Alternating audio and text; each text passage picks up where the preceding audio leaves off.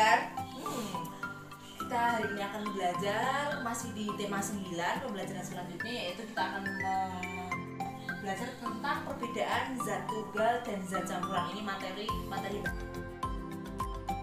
kalau kalian bisa ujian insya Allah ini akan masuk di materi ujian kalian. Oke yang pertama kita akan tahu apa itu zat tunggal zat tunggal itu adalah e, materi. Kemarin sudah belajar materi ya.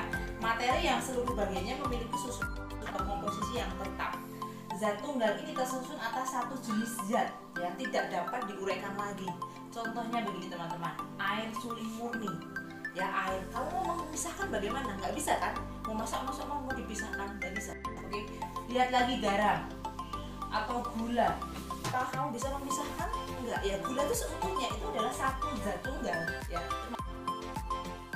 satu jenis zat jadi tidak bisa dipisahkan lagi. Ya walaupun dengan proses kimia. Oke? Emas murni besi. Bagaimana kita mau memisahkan ke zat campuran. Ya zat campuran itu kalau kalian bisa ada di mobil masih di halaman eh, satu ya teman-teman. Campuran itu merupakan hasil penggabungan dua atau lebih dari zat tunggal. Dua atau lebih dari zat tunggal.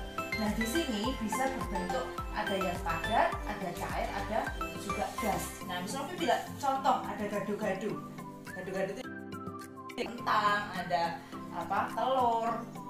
Itu makanan tuh ya. Nah kemudian teh manis. Ini adalah dua dua dua gabungan. Misalnya teh manis kan berarti ada air ada teh. Nah air itu kan zat tunggal. Teh juga tidak bisa kita bedakan yang bercampur namanya campuran ya. Jadi masih ada uh, penggabungan dua atau lebih dari zat tunggal uh, ada pertanyaan teman-teman? Jelas mengenai zat tunggal dan zat campuran ya. Diulangi lagi zat tunggal itu satu ya. Satu tidak bisa dipisahkan. Kalau campuran ada dua zat tunggal bisa kita pisahkan. Oke teman-teman kita akan belajar lagi di